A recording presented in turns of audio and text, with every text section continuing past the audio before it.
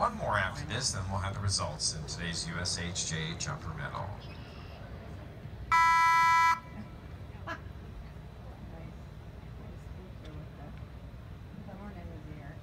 That's what Jolene.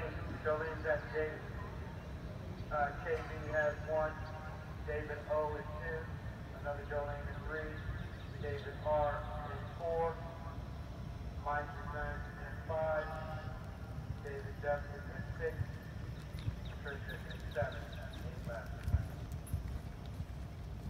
Guys, Dr. Barnes, eight rounds left,